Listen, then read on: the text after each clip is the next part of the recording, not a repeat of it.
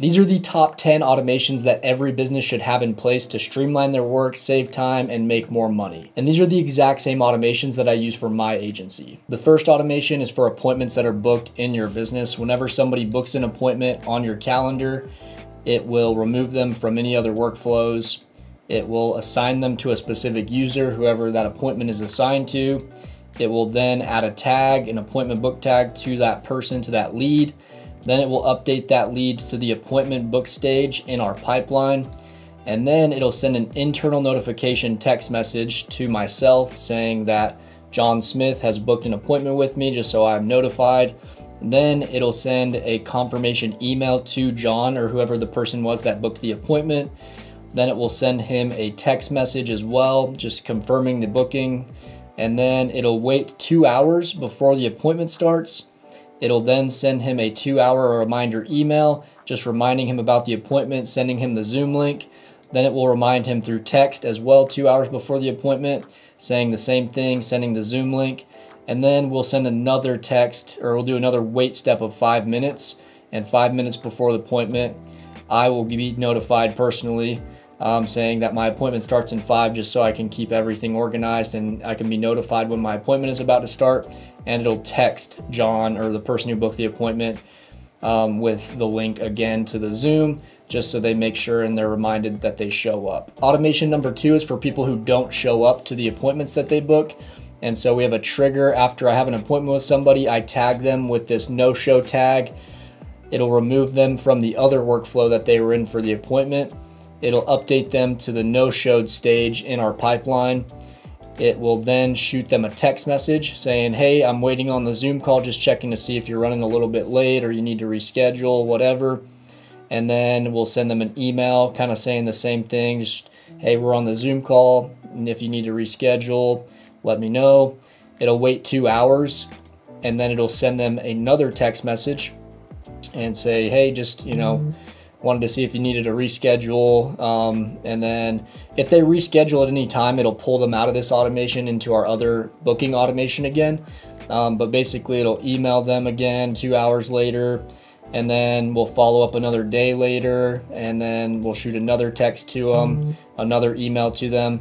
And if they don't respond to any of these texts or emails or reschedule with us, then we will put them into our long-term lead nurture automation, which I'll show you next. This is our long-term lead nurture campaign, which I am editing right now, so it's not all filled out. But we don't need a trigger event because the other automation will send them directly into this one. It doesn't need to have a trigger. It'll just automatically happen.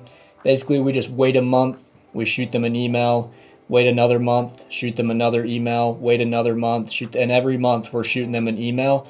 And these are just generic emails, right, about our business and our offers and things like that. We can pre-write these, we can use AI to write these and uh, basically just email them every month. So we're basically putting them onto an email newsletter for the whole next year.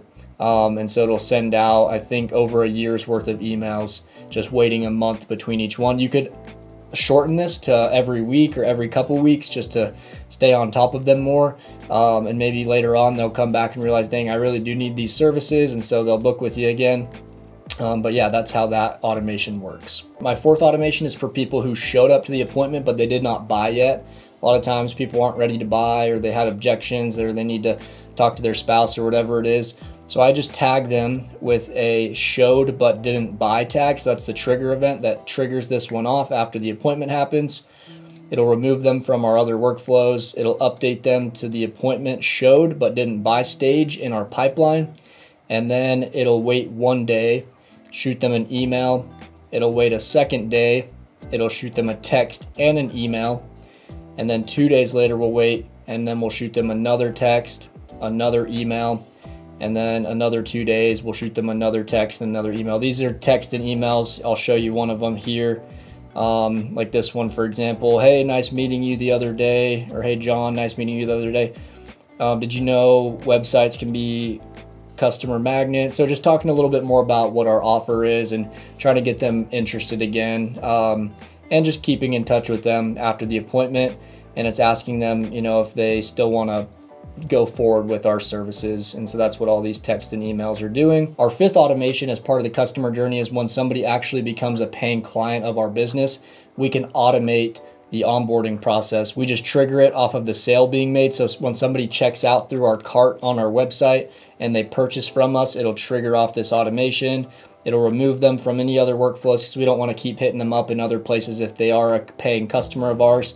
It'll add them to the paying client stage in our pipeline and then it'll email them and send them a welcome email and it'll text them and send them a welcome text message when they begin to work with us. The sixth automation is an answering machine that when somebody calls in, it'll have a robotic answering machine. So we have a welcome message that'll send to the person and then it'll collect the input from the person, whatever number they type, and it'll send them down a certain branch, whether they pressed one, two, three, or they didn't press anything at all it'll reroute and it'll re-loop the message. But if they pressed one, two, three, it'll show them a list of services if they pressed one. Um, or share with them a list of services. And this is all pre-recorded. You can record it yourself or a robotic voice, male or female, saying these messages if you don't want to use your personal voice. Uh, number two, um, it'll ask to, for them to record a voicemail.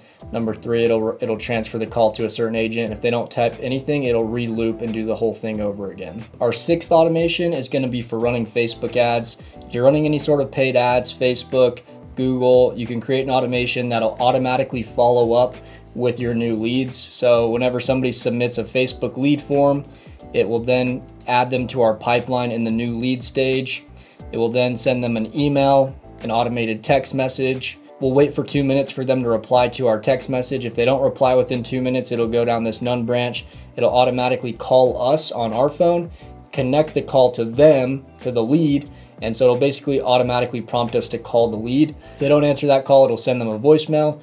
If they did respond, it'll ask if the reply was positive or negative. So we usually ask them a yes or no question. If they replied yes, it'll get them to book an appointment. If they replied no or negatively, it'll send an internal notification to us that they replied that way. This is just a great way to stay on top of new leads and make sure they're nurtured right away as soon as you've captured them through your ads. Automation number seven is a Google review request. If you're a local business, you rely heavily off of Google reviews to help boost your rankings. And so after a customer becomes a paying client, we have our paying client tag that triggers this one off. We will wait one day and then we will send them a Google review request asking them to rate our services. This is a very basic automation, but now you don't have to remember to send those Google review requests out manually. It'll automatically send to each new customer that you get. I believe we're on automation number eight. This one is for my free SEO course. So as part of my offer, I give people a free SEO course that they can access. They just have to put in their name, email, and phone number. Or the trigger event is when they access it. So when they access this local SEO masterclass offer that I've created, then it will automatically send them a text message welcoming them to the course and an email with their username and password and login information so they can access the course. Very basic one. This one I tied to my organic content. So when people see my reel on Instagram, they comment the word SEO on the post, and this is what I send to them as a free lead magnet so that I can capture leads and start building up an email and text message list that I can remarket to and ultimately turn into customers for my business. Free courses are a great way to build that list and you can automate the onboarding process of that course. Automation number nine is a survey like this that I have on my website that people will type in their information and fill out as part of the process of working with us. Once they submit this survey with all of their information, then it'll trigger off this automation. So that's the trigger event is when they submit my WebView survey.